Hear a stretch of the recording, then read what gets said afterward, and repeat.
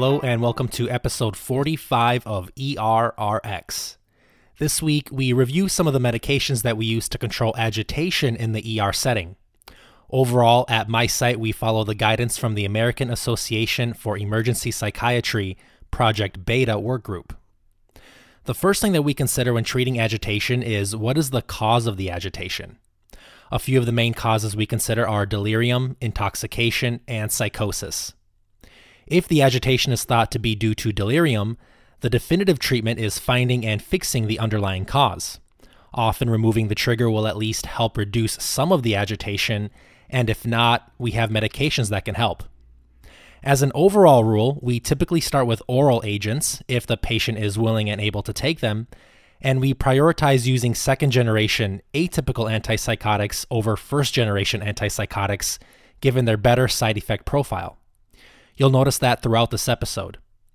Also, as a refresher, make sure you check out episode 9 for my take on droperidol's use for agitation and why it's one of my favorite agents to use in the ER setting.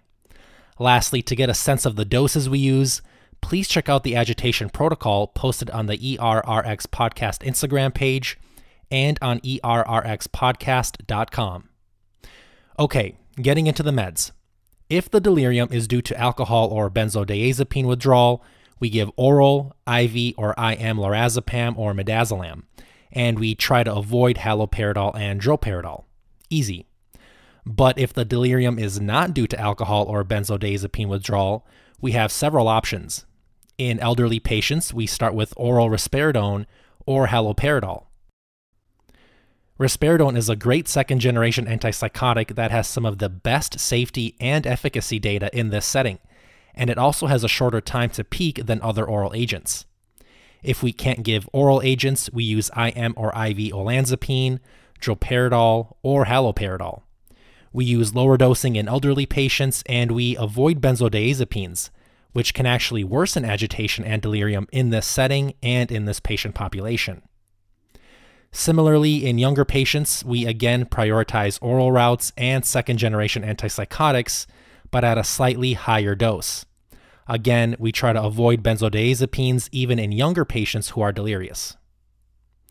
Next, if the agitation is due to intoxication, we first decide if the intoxicant was a CNS stimulant or a CNS depressant. If it was a stimulant, such as meth, we use oral, IV, or IM lorazepam or midazolam. If it was a CNS depressant, like alcohol, we avoid benzodiazepines. As an exception to one of our general rules, we use first generation antipsychotic agents such as oral, IV, or IM haloperidol, or IM or IV droperidol, with droperidol showing slightly better efficacy than haloperidol in this setting.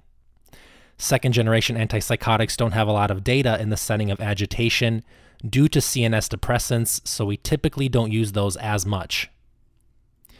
In the setting of psychosis, the agents we use are very similar to those used in the setting of delirium. Once again, we prioritize oral risperidone, olanzapine, or haloperidol plus or minus lorazepam or midazolam.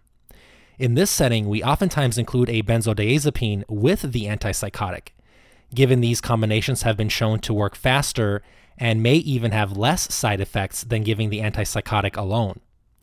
IM or IV agents include droperidol or haloperidol plus or minus lorazepam or midazolam. When using IV or IM olanzapine, we avoid parenteral benzodiazepines within one hour of the olanzapine as per package insert recommendations. I know that this is a controversial topic, with some studies showing that parenteral olanzapine and benzodiazepine agents can be used together, but I just won't get into this for the sake of time. Also, notice that we try not to use diphenhydramine or B52 combinations at my site.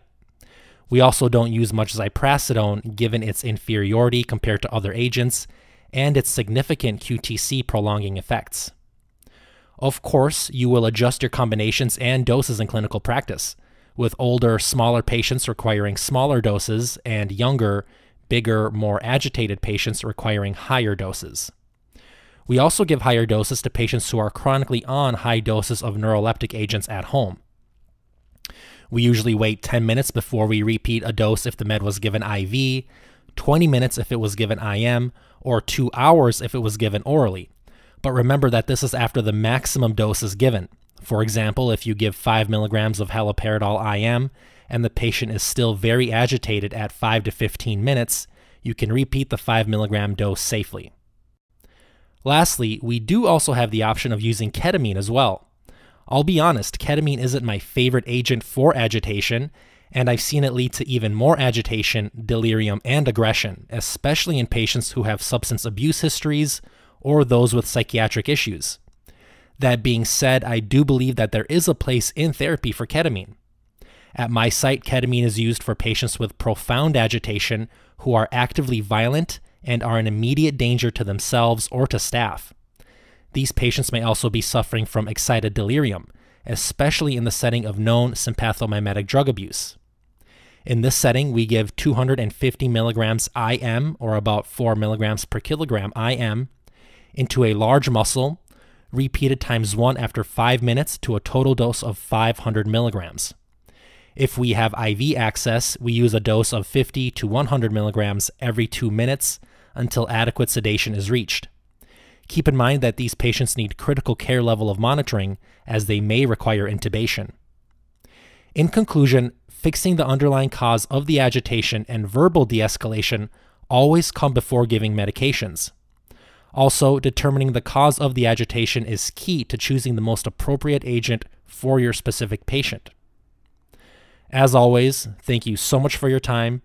If you have any questions, comments, or anything to add to my discussion for this episode, please leave a comment on errxpodcast.com or the ERRX Podcast Instagram page. Also, remember that this show is available on Apple Podcasts, Google Podcasts, Pandora, Spotify, iHeartRadio, and even YouTube.